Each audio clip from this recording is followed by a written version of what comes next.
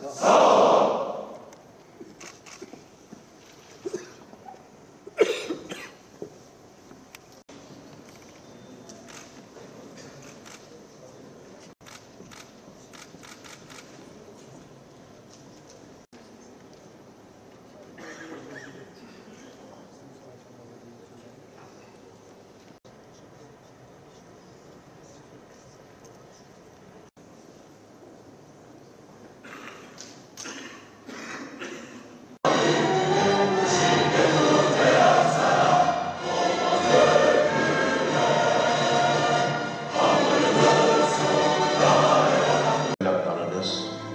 Tehlikeye karşı göğüs gerdi. Ve bir ümit vardı. Gelecekler ve kurtulacağız. insanlığa ve barışa büyük bir hizmette bulunmuş olacağımıza inanıyoruz.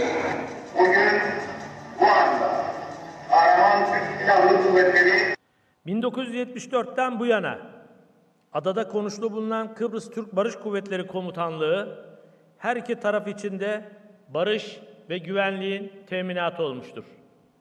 Türkiye'nin adadaki askeri varlığını farklı bir şekilde tanımlamak, bu konuda provokatif söylemler dile getirmek Rum tarafına hiçbir fayda sağlamayacaktır. Yarım asırdır adada kan ve gözyaşı yoksa bu Türk Barış Kuvvetleri'nin oradaki varlığı sayesindedir. Unutulmamalıdır ki Kıbrıs'ın sahip olduğu stratejik konum sadece adanın değil, hassas bir süreçten geçen Akdeniz'deki genel güvenlik ve istikrarın devamı bakımından da çok kritik bir öneme haizdir.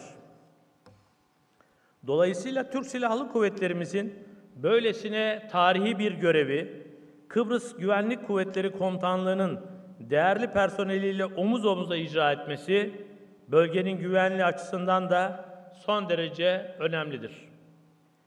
Kıymetli misafirler, şu hususu özellikle ifade etmek isterim ki Kıbrıs meselesi bizim için bir sorun değil, milli bir davadır.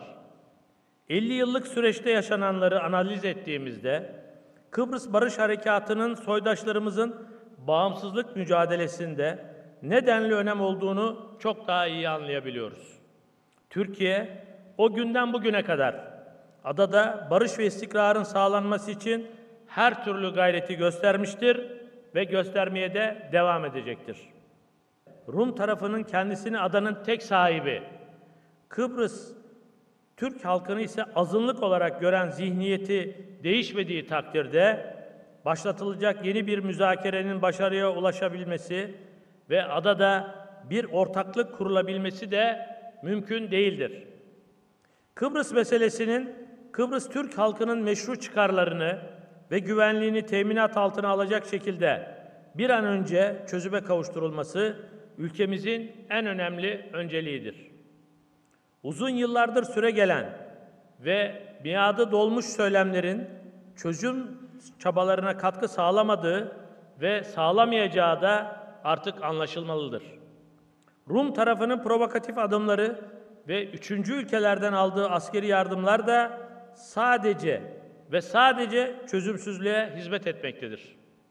Artık adada tek ve kesin çözümün Kıbrıs Türk halkının egemen eşitliği ve eşit uluslararası statüsünün tescil edilmesi gerektiği bilinmelidir.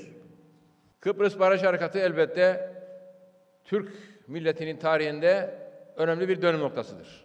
Sadece Kıbrıs Türk'ü için değil, aynı zamanda Anavatan Türkiye Cumhuriyeti ve bütün Türk dünyası içinde 20 Temmuz 1974 Barış Harekatı gerçekten bir dönüm noktası, bir tarih. Çünkü eğer biraz daha geç kalınsaydı Kıbrıs'ta kurtarılacak veya Kıbrıs'ta Bebeciklerle mücahitlerin buluşmasına vesile olacak bir ortam bulunamayacaktı. Çünkü 15 Temmuz 1974'te Kıbrıs'ta düzenlenen darbeyle esas niyet Kıbrıs'ı Yunanistan'a bağlamak ve Kıbrıs Türk halkını bir kez daha soykırımdan geçirmek suretiyle Kıbrıs'ı tamamıyla bir Yunan adası yapmaktı. Doğu Akdeniz'deki Türkiye'nin varlığı ve bütün Türk dünyasının da esasında baktığımızda en güneydeki bir Türk devleti olarak bütün Türk dünyasının Doğu Akdeniz'de Akdeniz'e açılan bir penceresi. Büyük Ender Mustafa Kemal Atatürk'ün de dediği gibi Kıbrıs'a dikkat ediniz.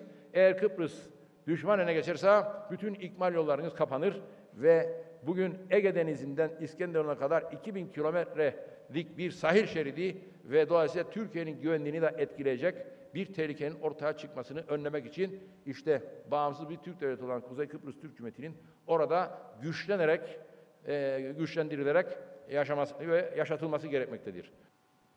Türk ordusu 403 yıl sonra Kıbrıs'a bu sefer Kıbrıs Türklerini katliamdan kurtarmak için bir kez daha çıkarma yaptı.